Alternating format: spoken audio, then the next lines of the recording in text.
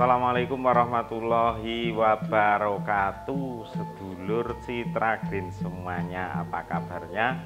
Semoga selalu sehat Selalu dalam lindungan Allah subhanahu wa ta'ala.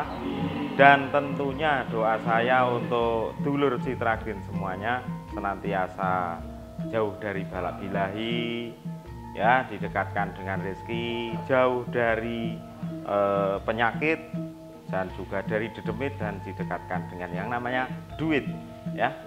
Untuk kembali hari ini bersama saya di channel saya tentunya Citra Green TV yang berdulu namanya Citra Green Production tapi karena nggak kuat berproduksi maka sekarang menjadi Citra Green TV Nah kembali saya akan update untuk neptu atau perhitungan Jawa hari ini hari Kamis eh, manis atau Kamis legi ya.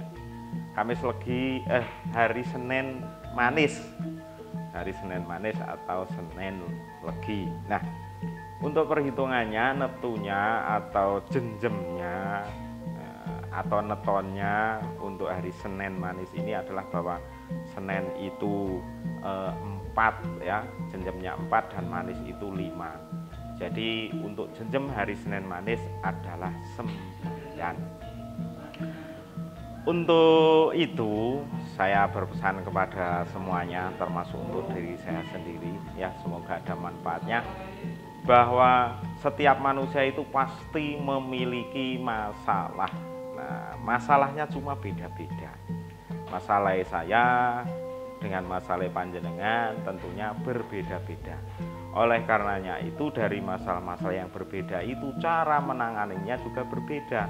Karena apa? Permasalahan saya dengan permasalahan dengan beda. Mungkin masalah saya uh, adalah masalah keuangan ya.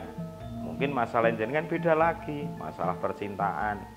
Masalah yang orang lain beda lagi misalkan tanamannya dipakan apa ya naik hama mungkin dagang rugi mungkin punya hutang nggak bisa nyarutang mungkin apa laporan belum selesai-selesai yang mahasiswa e, mungkin apa buat skripsi belum selesai-selesai sudah konsultasi ke sana kemari ke dosen ABC 123 belum disetujui. Nah masalahnya berbeda-beda tetapi apa pun itu masalah itu harus kita hadapi harus kita selesaikan tidak ada permasalahan yang tidak bisa diselesaikan. Jadi semuanya harus diselesaikan. Nah, cuma kalau kita bingung, kita itu mumet, nah tentunya kita bisa eh, konsultasi atau datang ke orang-orang yang bisa memberi nasihat. Jangan datang kepada orang yang tidak bisa memberi nasihat, apalagi eh, hanya membuat status mumet bro, nah nggak jadi. Jadi harus diselesaikan. Kalau jenengan masih mumet bisa dikonsultasikan atau e, minta pendapat kepada orang yang bisa dianggap bisa memberi pendapat.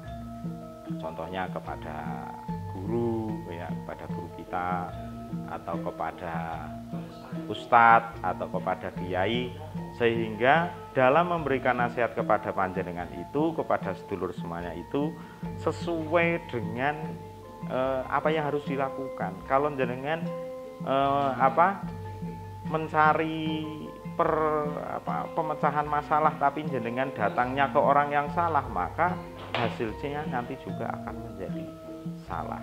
Oke semoga sedulur semuanya segera bisa teratasi bisa ter terentaskan dari masalah-masalah yang sedang dihadapi. Salam dari saya semoga ada manfaatnya. Sekali lagi semoga dulur semuanya senantiasa didekatkan dengan rezeki, dijauhkan dari balak bilahi, didekatkan dengan duit dan dijauhkan dari berbagai macam jenis penyakit. Terima kasih. Wassalamualaikum warahmatullahi wabarakatuh.